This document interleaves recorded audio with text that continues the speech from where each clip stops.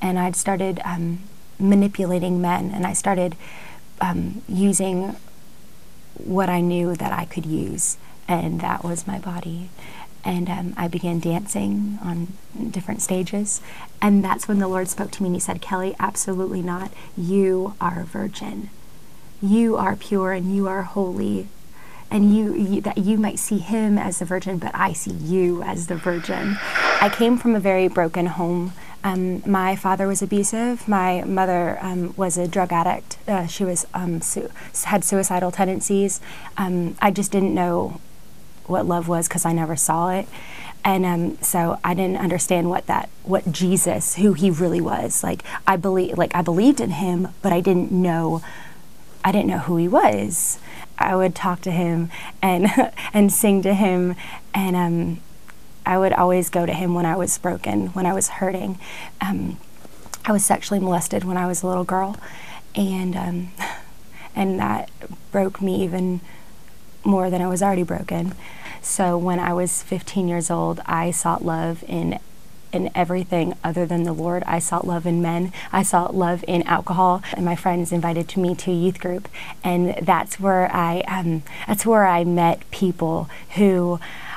I wanted to be friends with. Girls would come up and they, hi, who are you? What's your name? Who are you? And it was just so sweet to just be accepted in a family. They they would do skits, they would do acting skits, and they would um, they would get up and talk to each. Just everybody was just talking to each other, and um, I gave my life to the Lord. I said, Jesus, I, I want you.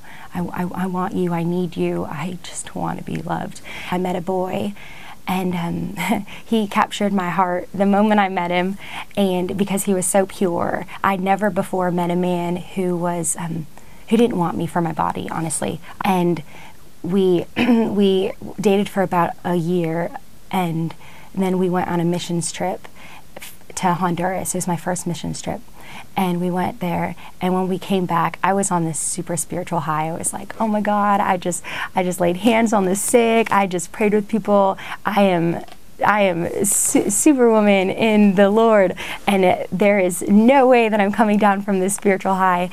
And um, so we ended up we ended up st- hanging out alone. We started hanging out alone, him and I, and um, we fell that's when everything in our relationship changed as well. He started becoming very jealous, very controlling. Someone told him that he thought I was pretty, and he came home to me that night and he hit me in the face. And that is the first time he ever punched me, and then it never stopped. For eight years, he physically abused me and uh, changed I changed everything about myself for him. I literally took the Lord off of his throne and I put a man on it and I changed everything for him. I love singing. I absolutely adore singing. I love worshiping with everything that I am. And I stopped singing for him because it, it um, brought attention to me. I stopped dressing. I, I could stop dressing in any in any way. No tank tops, no shorts, anything that would cause um, men to look at me or any attention to me at all. So finally, after eight years of being with him, he left me for one of my friends. He left me for another girl. And that is when I completely broke. I was, I'd left everything for him. I'd made him my God, and now I had, I had nothing. I, I, I tried to kill myself because I, I finally, I was at a point where I didn't even want to be alive anymore. And um, when that didn't happen, I went even further into the life of drugs and alcohol. I turned to prostitution and I'd started um, manipulating men and I started um, using what I knew that I could use, and that was my body. And um, I began dancing on different stages, and um, I began selling myself for everything for, for money, for drugs, for for drinks, for anything that I could I could get out of anyone. I was dancing on a stage in Miami. That's when the Lord showed up. he showed up to me in in my running and it, he said to me, he said, "Kelley, who are you?" I, I heard him. I heard him. He said, Kelley, who are you? He said, This is not who you are. Kelley, this is not the life I have for you. This is not you. You are mine. I called someone and I asked them to take me to a hotel room. And I went to the hotel room and I looked at myself in the mirror. I remember standing in front of the mirror and I had bruises all over my entire body because of um, the partying that I'd been I'd been doing. And I looked at myself in the mirror and I couldn't even recognize myself anymore. I wept before the Lord for five hours. It was five hours, and I just I just kept weeping and just kept crying and just pain that was pain that was in there from when I was a little girl was coming out of me. And it just wouldn't stop. And um, and I felt the Lord the presence of the Lord that night so strongly so strong. I just felt him. Like this is the first time I really really really really felt the presence of the Lord. And it was so tangible. And he was it was like he was all around me just covering me.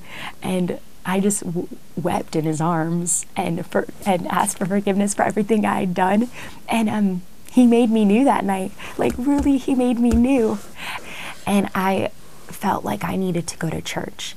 And to be honest with you, I was terrified. I was so afraid to go to church because, like the woman, the prostitute, the prostitute with the, the men that were about to stone her, I was I was sure that that was going to happen to me because everyone knew the life I had been living. Everyone knew my they saw my Facebook posts, they saw my pictures, they saw they saw me, they saw my life. And honestly, I was afraid that I was going to be shunned. I walked in terrified and I left accepted and I left with friends and I left with with love and I'm honestly, I'm sitting here today because of the love that the church showed me. I have forgiven every one of my abusers. The one who molested me when I was a child, I have forgiven by the grace of God. And um, my ex husband, I have forgiven. So when I gave my life to the Lord, I knew life meant I, I ended up knowing just being full of life. And I wanted this so desperately for my mom and for my dad and for my brothers. And I um I began to pray and pray and pray, and I never stopped praying. And I prayed and I fasted for them. And um, since then, my family has given their lives to the Lord. My younger brother actually found the Lord in jail, and he called me. He called me when he got out, and he said, "Kelley, I gave my life to Jesus. and I was like, I knew that would happen. Of course you did. I had been involved in prostitution. And because of that, with that comes um, the feeling of being dirty, the feeling of being used, the feeling of being um, not good enough or not worthy of love. And um, when I met the man that I married, um, I found out that he was that he was a virgin and he was t- he's 24 years old and i found out that he was a virgin and that he'd actually never even really kissed a girl before. And so when i met him i was like oh my god what? Who am i to have like who am i to have someone like that?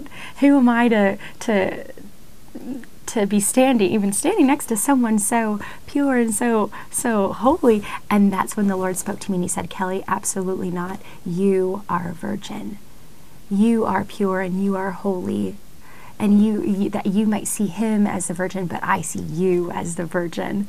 He sings in a christian crossover band called mending wall and um, it's a band that's used to point to the lord to bring glory to the lord.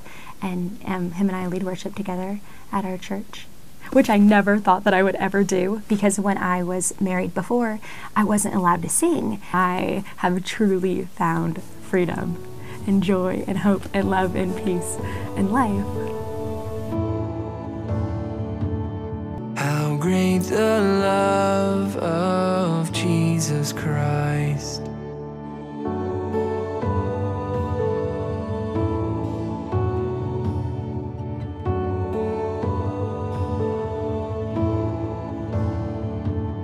Upon the cross of shed that pardons me. No longer